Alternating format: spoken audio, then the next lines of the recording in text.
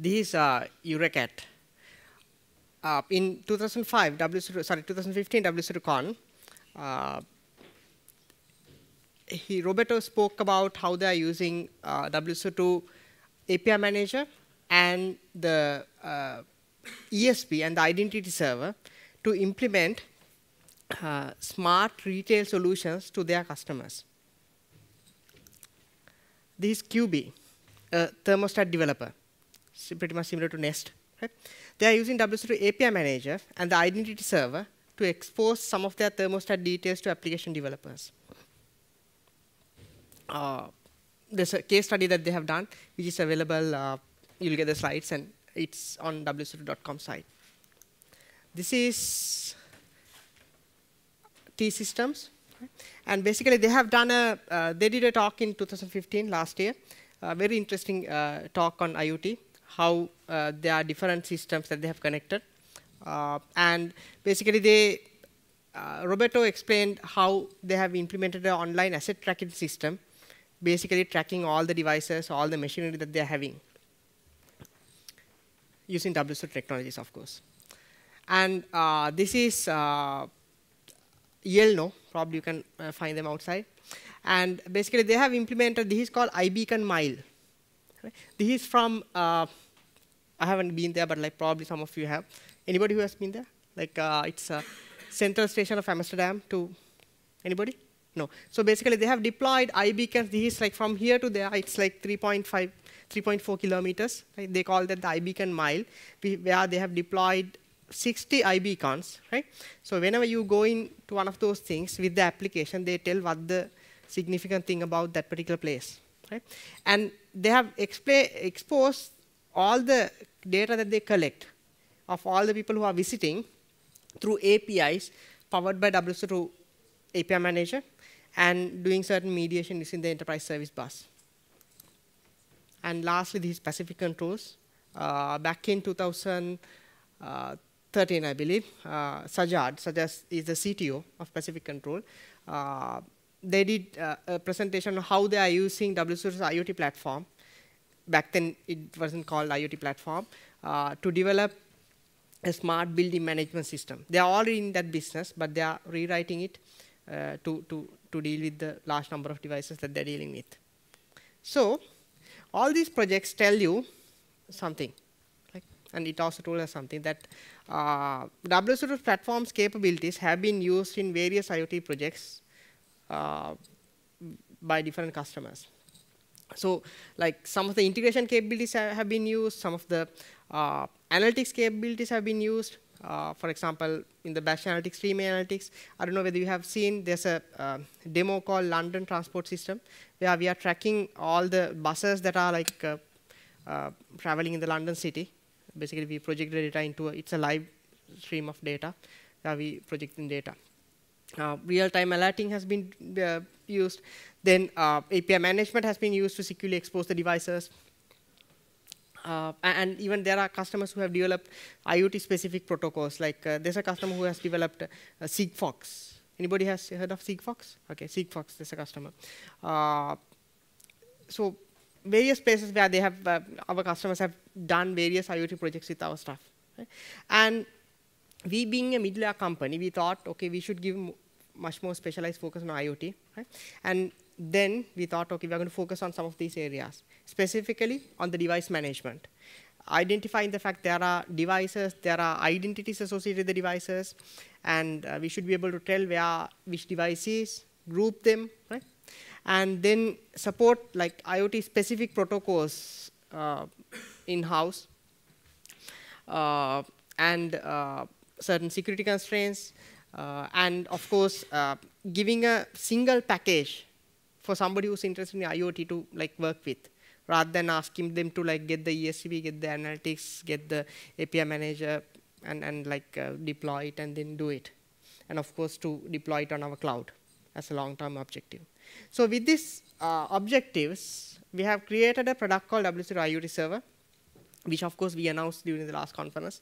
And we are, uh, I'll tell you about the release plans uh, towards the middle. Right? So basically, if you ask me, I would tell it's a distribution of proven set of integrated WSO2 components right?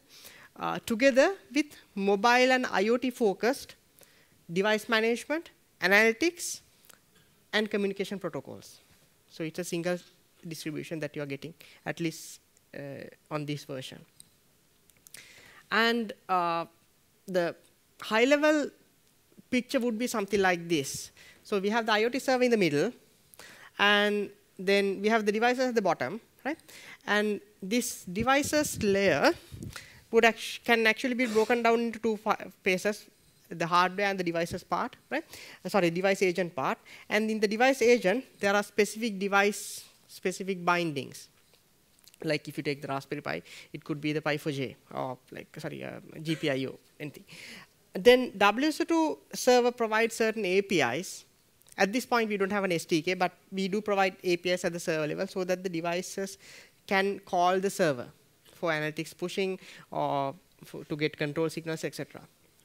And on this, we have the server that is acting as a middleware uh, between various other applications or systems that wants to communicate to these devices. Right? So those uh, systems can be devices itself, so that a device sends a control signal into this one, or vice versa. It can be uh, dashboards, it can be applications, it can be various other systems to which you want to integrate, or it can be APIs, like in the iBeacon mile case. You, this could be iBeacon, where you are exposing the data to somebody outside. And uh, this is, of course, like uh, I don't know how many of you have like gone through this white paper. Basically, like about two years ago, we published something called WSO2's reference architecture for IoT. This is pretty much an uh, implementation of what we have presented in there. And uh, at the component level, like these are some of the capabilities which I will not explain at this point because I want to show something else. Uh, and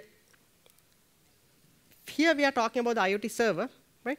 But pretty soon we'll start talking about IoT platform like probably in the next conference. Because like what you have realized is the IoT server encapsulates certain things, bare minimum stuff that somebody wants to uh, uh, needs to have to get an IoT project implemented, but it can actually uh, expand. Say for example, what if somebody wants to uh, do a workflow, long-running workflow when when somebody is trying to access a device, right? Or somebody is like uh, in registering a device. So those things we don't plan to put it under IoT server but rather on the extended platform. And uh, in the IoT world, I actually just presented this uh, on the strategy track. I think all of us can fall into one of these categories. Somebody manufacturing devices, uh, somebody uh, doing application development for those devices, somebody integrating different systems that are connected to devices, or device users. Right? All of us are using mobile devices, so mobile devices are devices. A device is a call-taking capability. Right? And IoT server is for, at this, at this point, the target market is device manufacturers uh, in an OEM type of scenario because we have a strong uh, platform, software platform that can do integration, analytics, API management, all that. And architects who want to expand their existing systems uh, with devices. It could be an insurance company who wants to like set up a device in the vehicle so that they can track how the drivers are driving. So uh, I thought uh, I would like do a small demo, right? Usually demos fail, right? Uh, I hope this will work, but uh, uh, basically, uh, how many of you have worked with this particular chipset, ESP8266? Okay, so basically this is a very, it's like $2, $2 Wi-Fi chip, right? But it has processing capability enabled so that you can program, right? Program using Lua. anybody who has worked with this? Okay. Yeah, okay. Anybody over there? Okay, oh, sorry. Uh, so basically what I would show is, uh, so this is done, uh, manufactured by a company, a Chinese company, all this one. And there are various, uh, I'm going to use uh, this particular uh, setup, right? Setup as in that particular model. So the chip, chip is called the ESP8266. There are variants out there. And this is the setup. Uh, so basically, I have over there, and close to that, that gentleman, uh, a device that is having a thermostat attached. So it's something like this. So this is the actual chipset, right? Then I have a Wi-Fi router, which is my Android um, Nexus that is acting as a Wi-Fi router. And the IoT server somewhere over there. Right? Since I can't uh, do, do a live projection, what I'm going to do is I'm going to go over there, and that gentleman is going to touch the thermostat so that we'll see some live values uh, coming. So uh, uh, while the machine is being set up, uh, okay, let me. I think we are almost done. It's on the other side. Yes. Sorry, this is totally my fault because I haven't informed the. Okay, it's yeah correct.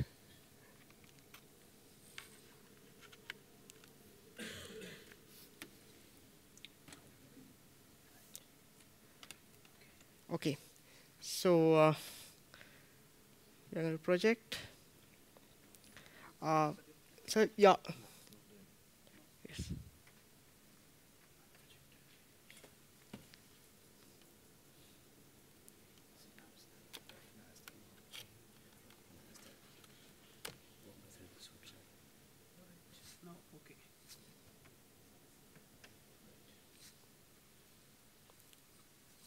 Okay. Uh,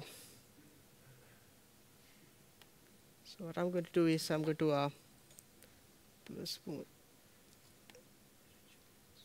Okay. So uh, what you're seeing here is uh, a live feed of temperature data or the other other end, right? So uh, at some point, uh, uh, the gentleman is like holding onto the thermostat. So we will see the temperature data being uh, uh, updated. So basically, uh, it shows the time, and I can also like uh, send a control signal so that it can. Uh, there's a buzzer. hope it goes. Okay, probably I have time. Yes.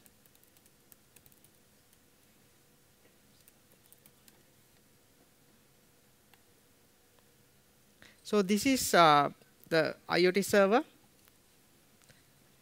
And uh,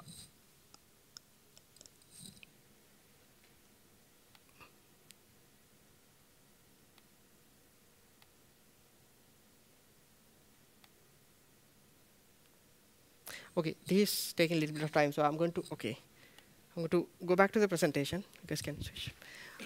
Uh, I, will do the demo uh, afterwards if you guys are interested. So I'll explain what happens behind the scene. So uh, on this side, we have the device. Okay?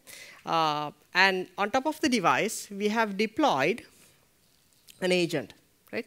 Now that agent is actually uh, getting created from the uh, from the server. Right? So uh, I have put this into a bunch of sequence diagrams, right? So this is the device on this end, right? And this, this device gets an agent, right, which we have installed. And that agent, as part of the agent, it has uh, an access token, right? Uh, so basically what happens is the device, okay, this is having a pointer, it sends a temperature data which is getting received at the MQT, at a MQTT topic, so this MQTT topic is created with the device ID, right?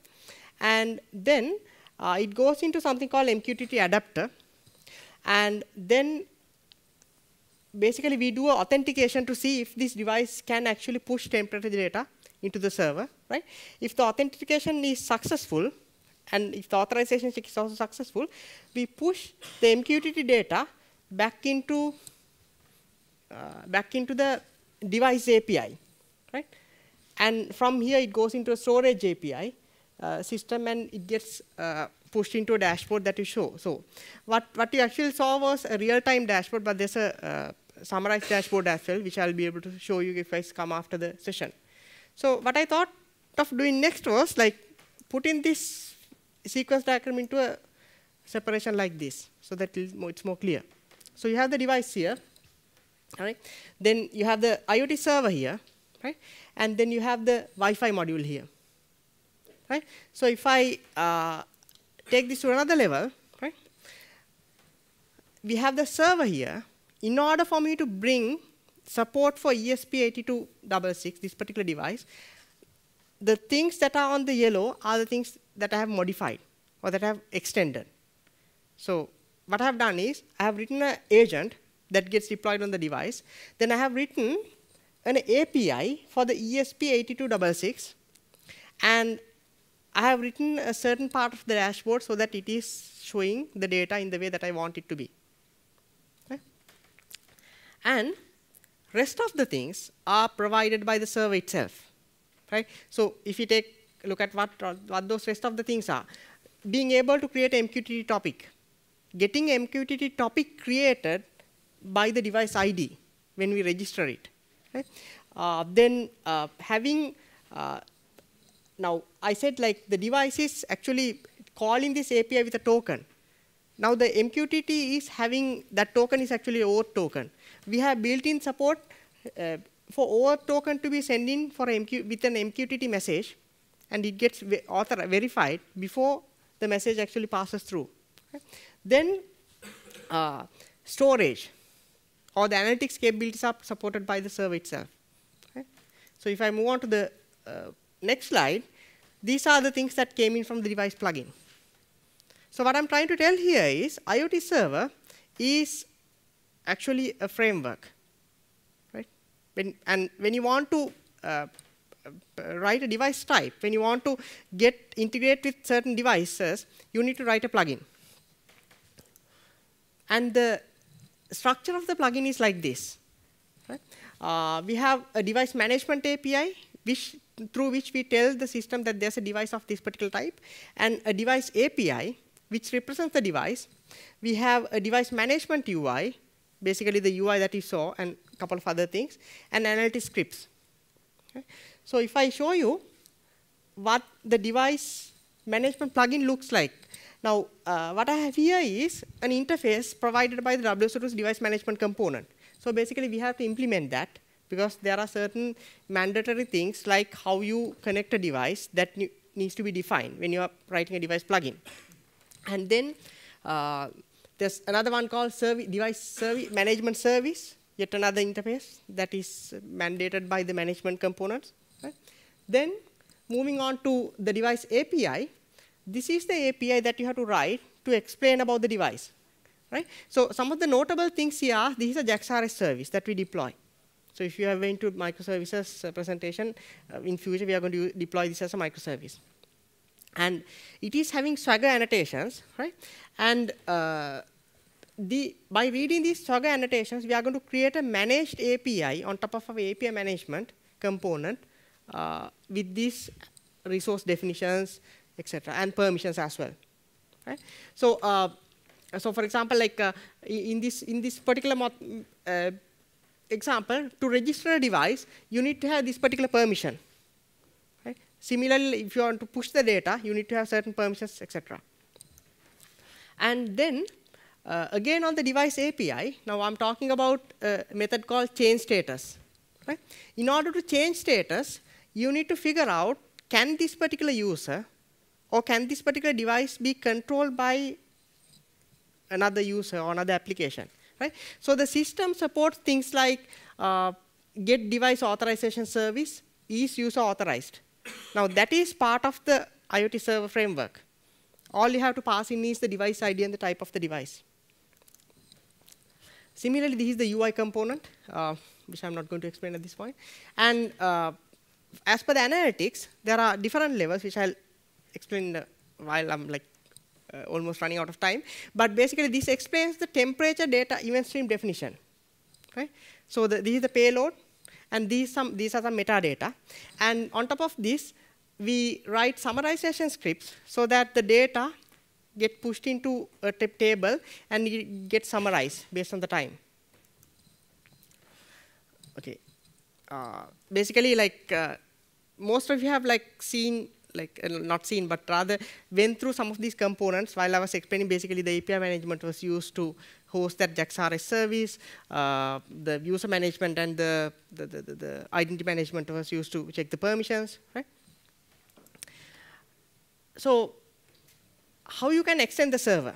First thing is writing a new device type. That is what we have seen. So, and the second one is okay, uh, before going to that one, like we already have written certain other device types for us to like experiment. For example, we have Raspberry Pi de a device type for Raspberry Pi, Arduino Uno. Uh, we have one for IRIS drone. Uh, not sure if you guys have played that. Uh, various things. And it's documented in this one. Like basically we have a Maven archetype that creates that whole structure uh, consisting all those four components. And uh, a complete documentation uh, telling you how to write a connected cup, a virtual connected cup is uh, explained in this particular article. then uh, the next way of extending is writing transport protocols. Right now, we support a, a MQTT, XMPP, and HTTP, and we are working on getting CoAP supported and uh, OCP for uh, PLCs. Sorry? Uh, okay, uh, I'll tell you about the release timelines. yes. Uh, um, uh, okay, and as for the authentica authentication mechanism, we support OAuth. OAuth at two levels. One is OAuth token per device, or using the dynamic client endpoint of OAuth and creating applications per device instance. Okay? The other approach is, and this is verifiable by HTTP and MQTT, like I mentioned before. Other one is SCEP. So per device having a SCEP, having a certificate. Right? It's like a mutual authentication scenario between the device and the server. Uh, and the next way that you can extend these IoT analytics, and in analytics, basically, like uh, probably if you have gone to an analytics session, you have gone through this uh, interactive, real-time, batch, and predictive, right? This is a different representation. Uh, there are multiple levels when it comes to IoT analytics. The things that you collect per device, things that you collect based on different groupings. Things that you collect based on solutions. It could be that uh, summarization dashboards, alerting notification, your dashboards. Right? So this is uh, example of a per device analytics uh, supported by the product. This is a geo dashboard that was like actually uh, discussed yesterday during a tutorial session. So basically this has uh, certain things like defining a perimeter and getting alerts, okay, I'm running out of time, so I'm. Uh, uh, this uh, documentation, this lists out all the capabilities that I've listed out, uh, mentioned, and it also takes you to certain samples that, that has various things explained. And I wanted to show something about the edge computing. Basically, we have something called Siddhi, which is the one that is being used in the CEP server. And uh, we actually have a sample that is that where we have deployed uh, a Siddhi runtime into a Raspberry Pi and doing certain edge stuff and pushing things into the server. Uh, right. Okay. So uh, this is where I'm trying to link to what Prabhat was talking before. So basically, enterprise mobility manager. Where does it fall in? Right. So like I've said before, mobile device is a device with a communication capability. Right. And MDM stands for Mobile Device Management, MAM for Mobile Application Management. So these three things together creates the Enterprise Mobile manage, mob, Mobility Manager. So the difference is this is the IoT server at the bottom, and these are the plugins that you have written for the mobile devices. And on top, application capabilities. So this is the MDM capabilities, these MAM capabilities. So basically, we treat the mobile device, mobile device management uh, similar to what we do with the IoT uh, so the uh, target date for 100GA is uh, mid-July. Right? Uh, those two protocols will be after that, probably through extensions. There's a beta program that is happening right now with like 150 registrants. It's like supposed to finish within like next two weeks.